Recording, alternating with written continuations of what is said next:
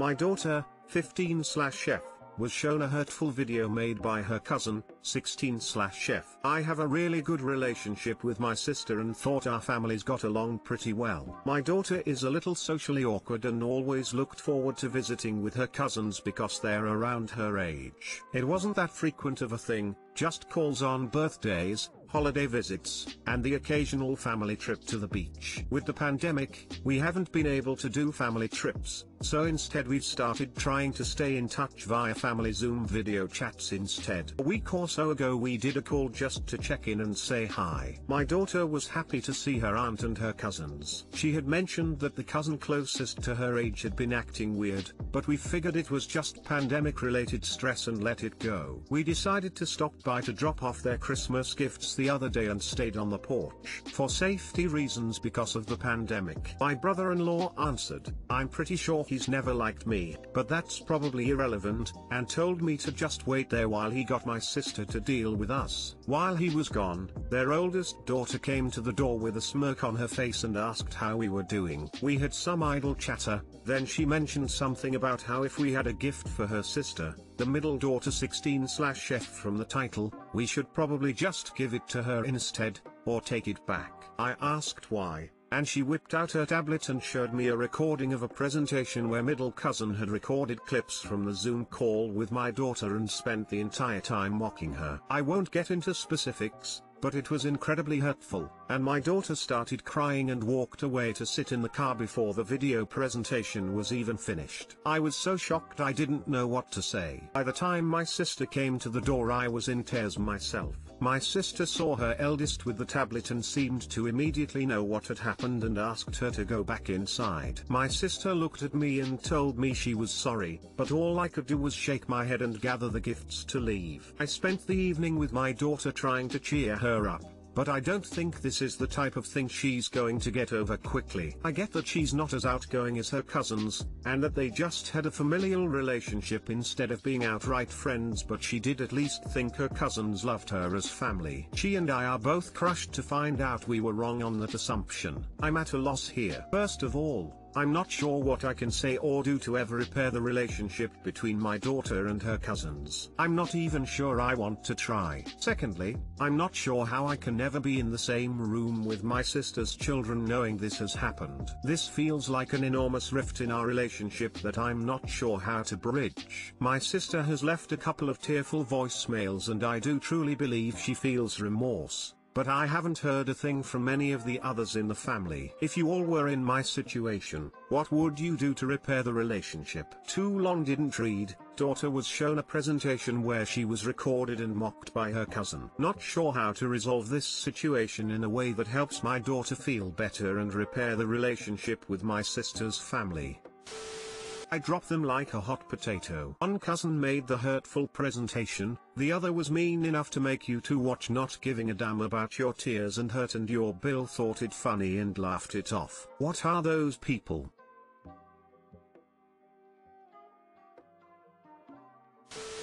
You don't repair it. And I know that may sound terrible but cutting toxic people out of your life is the best option. They have no respect of love for you or your daughter. You know how this feels I have not spoken to my mother in five years. She would get drunk and leave me voicemails about how I wasn't her daughter just an inconvenience and I was nothing like her. Blah blah blah. I'm so sorry to hear that. I'd hate to lose contact with my sister, but I think I'm going to tell my daughter it's her choice if she ever wants to interact with that side of the family again. I want to leave it up to her. As for my nieces and Bill, as far as I'm concerned they can kick rocks. Hopefully I'll forgive someday but it's just too raw right now.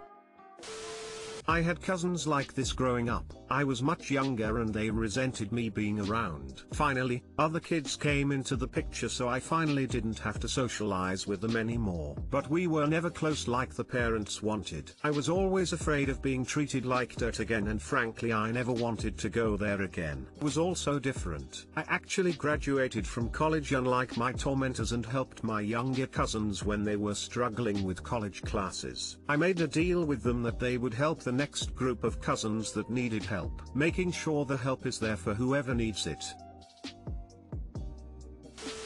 I think you have a conversation with your sister that she knew about it and didn't destroy it. The kid isn't being punished. This is mean girl shit that gets kids kicked out of school these days. She may want to address it, complete with an apology. And your daughter doesn't have to forgive or get over it. But, this kind of mean girl crap happened before the extra tech and it won't stop. Good heavens, I'm sorry. Thank you. I think I really do need to sit down and have a long conversation with my sister. I'm just not ready yet. I hope she understands that. And you're right. I think I may just tell my daughter that someday she may want slash be able to forgive her cousin but she doesn't have to right now and maybe we can skip out on the family gatherings next year. My 21F racist neighbor insulted my husband, 30M, who is black because he thought he was abusing me, and it was my fault. Yesterday my husband and I went to visit his sister and when we came home we were joking about something that had happened a few minutes ago. While I was looking for the keys inside my bag he was trying to hug me from behind and tickle me and I was pushing him away, but I was joking. Our neighbor saw us and, and ran straight to us and pushed my husband away, and he started asking me if I was okay, and if I wanted to go stay at his house while he called the police. I explained him that we were just fooling around and he insisted that my husband was trying to hit me and that I was not telling the truth because I was afraid. I explained him again what was happening but he didn't understand. He started insulting my husband and said horrible things about his skin color. So I told him that I was okay and that it was best for him to leave or else I was going to call the police. He told me that he would be watching us and then he left. After that I tried to talk to my husband but he just said that what happened didn't matter so I asked him why he didn't say anything when our neighbor was insulting him and he said that's what his mom taught him, to avoid any conflict with white people. But I don't understand that, that man was telling him horrible things and he didn't even try to defend himself. Honestly I feel horrible because I feel like it was all my fault, because if I hadn't acted as I did, none of that would have happened. I'm white and I've made thousands of times this kind of joke with my sisters or friends and nobody ever accused me of wanting to hit them, and I didn't think that anyone would ever accuse him of that, because he's the sweetest person I've ever met and he never but never abused me in any way. This is the first time in all these years of relationship that I'm with him when someone attacked him because of his skin color and now I feel so bad so I apologize to him for acting like I did and he told me that everything is fine but I know that the things that man said hurt him, but I don't know how to talk about it without making him feel uncomfortable. How could I talk to him about it? Well, your husband is more experienced in these things and he did the right thing. Do not fight back in a situation like this. You try to remain calm, just as he did. You don't escalate the issue. It sounds more like you need to talk about this than he does. If you do talk about it, don't try to guess how he's feeling, just talk about how you're feeling about it. Otherwise, just try to let it go. Correct. It's much better to be embarrassed but alive, than it is to be justified and dead. Obligatory, as a black man. I can give you some perspective. I've experienced overt racism in this way a couple times. One time some friends and I were in a restaurant in a city that's known for being racist. A man came in and started saying very racist things about my friend and I to the person he was with. We know it was about us because everybody else in the restaurant was white. My friend and I could have snapped on the guy, beat him up whatever. But sometimes in these situations taking the high road is best just because you can end up looking like the bad guy. Had your husband snapped and cops came it could very easily end up with your husband being the one in trouble. Sucks but that's reality. Please try to understand this. I know why you feel the way you feel and thinking your husband should have said something, but try to understand that he's doing what he thinks is best and you can't tell him how to feel. Hug your husband and tell him you love him. That's all you can do. As far as your piece of shit neighbor, warn your other neighbors about it. His behavior shouldn't be swept under the rug. Everybody in your neighborhood should know about it. Acknowledge what happened and how horrible it was. Always do exactly what you did. Stand up for him and tell the racist to kick rocks. And tell your husband how much you love him. But he just said that what happened didn't matter so I asked him why he didn't say anything when our neighbor was insulting him and he said that's what his mom taught him, to avoid any conflict with white people. But I don't understand that, What do you think would have happened if your husband became assertive, or as the neighbor and the police would say aggressive, and your neighbor called the police saying that his black neighbor was hitting you? Ask yourself that question and you know why your husband remained calm.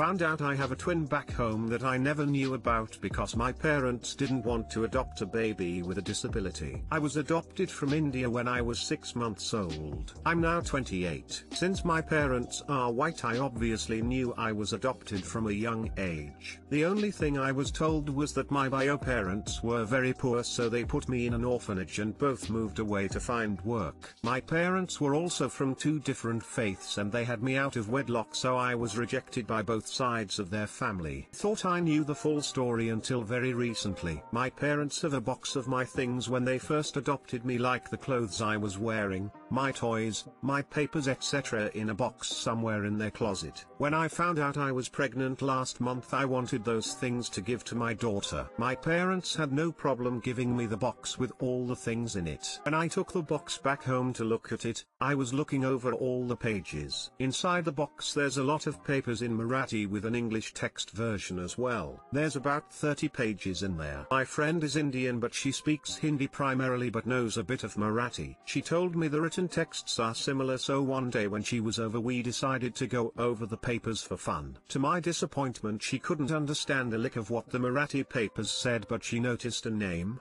Nakashan told me she recognized that as meaning unwanted daughter. After looking over the papers for a while she told me she also noticed another word sister being mentioned on some of the papers. I was so thrown off. I asked her to clarify but she didn't really know much else because she's not that fluent and thought she was making a mistake and said she could take a picture and ask her dad who's fluent what it means exactly and what they're referring to. The English text version said nothing about a sister and it was supposed to be a direct translation translation. When my friend left I called my mom and told her that the funniest thing just happened. My friend was very badly trying to translate the Marathi papers and noticed the word sister but we think it's just a mistake. My mom chuckled nervously and said it must be a mistake and changed the convo. In hindsight it was clear as day but at the time I didn't think twice of it. My friend texted me a few days ago saying her dad looked at the pictures and said that the Marathi paper said that I was born a twin but my twin was born with a missing lower leg and an arm and is basically inadoptable. My twin was sent to a special adoption center and that's all the paper says about that. I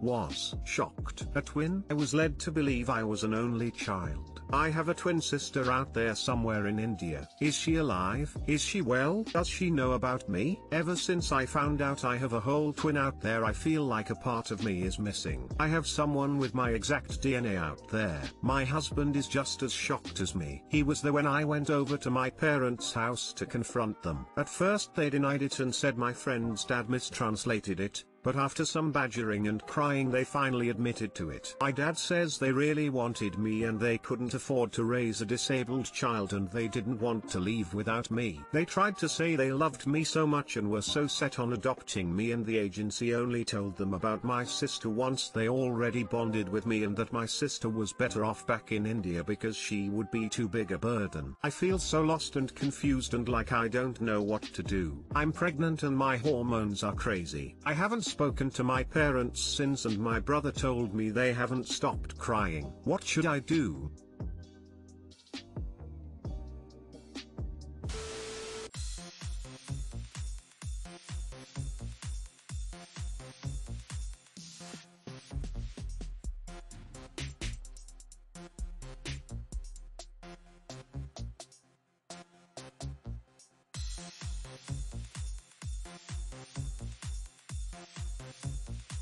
Thank